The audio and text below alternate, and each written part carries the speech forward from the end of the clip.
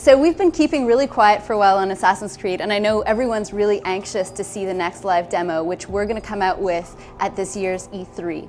Um, what we're showing you right now is in-game footage that really highlights all of the attention to detail and really the blockbuster game experience that we're delivering. So we're giving you a sneak peek at different environments that you're going to see, the breadth of the world, some of the awesome fighting moves that you're going to get to do, um, a really cool thing which is one of my favorites called Leap of Faith you'll you see featured at the end. Um, and it's really just to tease, but also to bring out and appreciate all of the detailed work that's gone into this. Because when you're in the heat of the action and playing the game, and you have uh, 10 guards on your back and you're running up the walls and jumping across things, you don't have time to appreciate all of the animation detail, the fluidity, and, and really the detail in the environments. So this is like a little sneak peek at what you're going to get to see at E3. Last year at E3 we had a little uh, demo map of a town called Acre. Since then we've been building out the whole Holy Land. So now we have the real map of Acre which is 15 times the size of what we had at E3 last year. On top of that we have two other huge cities. We have Jerusalem and Damascus, all based on the historical documents from the year 1191.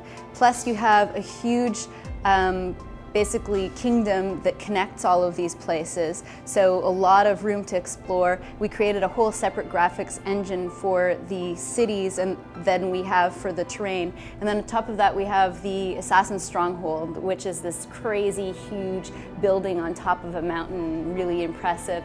And then uh, we also have a historical setting at the end of the game that you'll get to see, which is Arsuf, which is where the historic battle took place between Saladin's army and Richard the Lionheart. So we've been building like a huge, huge, huge game. Since we're making a historical game and we have this level of detail and polish and realism, we also wanted the fight to be realistic. But we also wanted, we didn't want to lose the wow factor in a realistic fight. So yes, you can't take, you know, a million blows to the head and not die, um, but you do have uh, a lot of really flashy counters and stuff like that that even though it's realistic keep the fight really exciting and dynamic and different. And so what you're going to see is some of the super powerful counter moves close up um, and there's a huge huge variety of them and it's all about picking the right timing to unleash these, the right position and also depending on the way that your, uh, your opponent is attacking you and you're going to see some of those up close. What you're seeing in the background here is the feather and the assassin blade. The assassin blade, I think, is the coolest weapon that's ever been in any game. You're going to see a close-up of it in the video. And the feather is actually the assassin's sig signature. So what happens is when your big boss um, of the assassin sends you out on a mission, he sends off these uh, messenger pigeons to the bureau, the assassin bureau in the city where you have to go track down and kill this guy. After you're done with your investigation, you're ready and you've proven you collected the right info and you're ready to start your mission, you go back and see the bureau leader and he hands you a feather from one of the messenger pigeons that was sent over.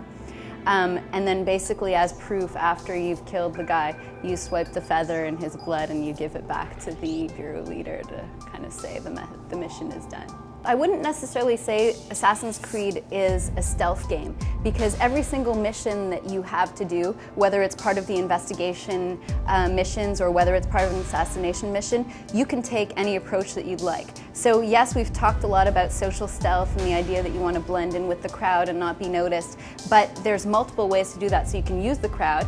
That may be a more slow pace because you don't want to attract attention to yourself approach, but you can also use your acrobatic free running abilities. So you can actually, you know, take a more puzzle approach to the environment, say, okay, I see that beam is connected to there, I can get up there without anyone noticing me and get around that way.